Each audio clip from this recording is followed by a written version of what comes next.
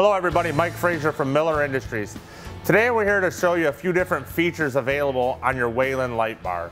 On this Whelen light bar, one of the cool features I found that I like is if you go to the control panel, push the switch panel, there's an arrow on the bottom that says left and right. So if you activate this, it actually turns your light bar into an arrow stick. So you can actually activate it to the left, to the right, or it'll go from the center out to the left and right. So you can kind of direct that traffic away from your recovery unit. Depending on what your options are on your light bar, there is an option inside of the Whelen screen. You can actually activate it where it will, in the traffic advisor, you can turn it on. And when you turn your turn signal on, it will actually become a arrow stick itself on the light bar with the activated turn signal. Depending on what light bar you have chosen for your truck and with the system, whether it's Raptor or MMO, not all of them have the turn signal advisor. You will have to manually do it on the touchpad. On some of them, just depends on what you choose for your vehicle. When you're on the Whelen screen, you're on the traffic advisor pattern selection, there's more than one selection in here. There's actually five. You choose what you want and there's actually one designed for the state of California because they have a mandatory pattern that they have to use.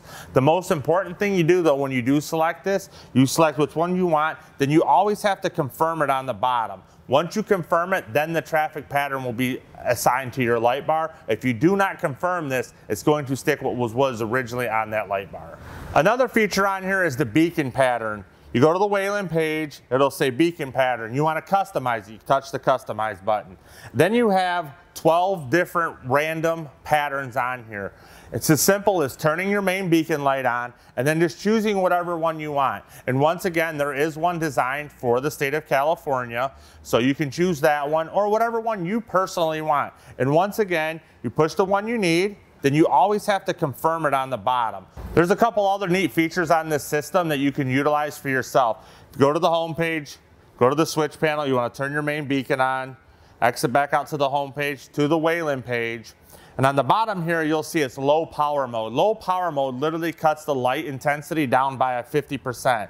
So if you don't need them bright lights, you're in a neighborhood or something, you want it to be a little bit dimmer, but you still want the safety of them overhead lights, you can dim them down. Another cool feature is you can actually shut the front or the back of this beacon off independently. You simply just go on here, front beacon off, you're done, and now the beacon is off. And when you go back to your home page, it actually tells you that the bar is in low power, so it doesn't stay there. So when you get on your next call, you want the high power beam again, you can actually activate it back up. These are just a few of the features, but stay tuned for future videos as we are working with Whelen on software updates that will include a few more new features. Hey everybody, thanks for watching and make sure you subscribe to our news feed to stay up to date to all the latest news and information from Miller Industries. Miller Industries, the world leader in towing and recovery equipment. This video is for product demonstration purposes only and is not intended for training or instructional purposes.